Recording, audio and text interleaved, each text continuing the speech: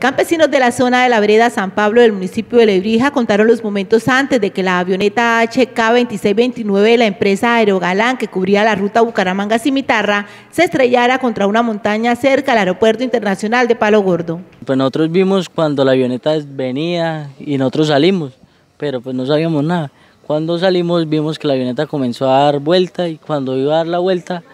comenzó a desplazarse, desplazarse al piso y cuando la vimos fue que cayó y escuchamos el estruendo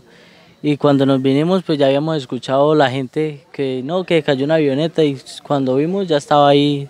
toda la gente amontonada viendo y cuando llegamos pues ya era tarde. Testigos indicaron que sintieron el ruido y corrieron a mirar si podían ayudar a los ocupantes, pero nada se pudo hacer. Según el reporte de las autoridades, los tres ocupantes, el piloto y pasajeros que iban a bordo de la aeronave HK-2629 murieron en el lugar de los hechos debido al choque. Eh, dicen los, los vecinos de la región que la, la avioneta salió normalmente del aeropuerto,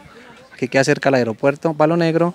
y ella venía normalmente, pero no hizo como todas las avionetas los aviones que salen con su rumbo directo, sino ella empezó como a dar vueltas en la zona, como a tratar de devolverse para aterrizar, no lo, no lo logró hacer, empezó a decaer, a decaer, hasta que cayó aquí en un potrero de una finca de la vereda San Pablo. Toda hora estamos muy cerca, estamos a 10 minutos del aeropuerto y aquí a diario, a toda hora ingresan y salen aviones del aeropuerto y pues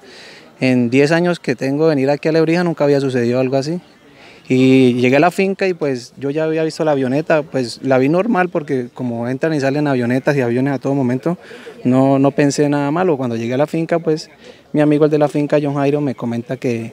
que se había caído una avioneta. Y nos vinimos en la moto aquí a, a donde fueron los hechos, pero cuando llegamos ya estaba acordonado, ya había defensa civil, bomberos, policías. Se pudo conocer por parte de las autoridades antes de accidentarse que el piloto de la aeronave alcanzó a reportar la emergencia, pero esta comunicación fue demasiado tarde. Dentro de las personas fallecidas se encuentra el piloto barranqueño Freddy Gutiérrez. La Aeronáutica Civil informó que investigan cuáles fueron las causas del accidente que cobró la vida de las tres personas y quienes viajaban en la aeronave que despegó del Aeropuerto Internacional de Palo Gordo en horas de la mañana de este lunes.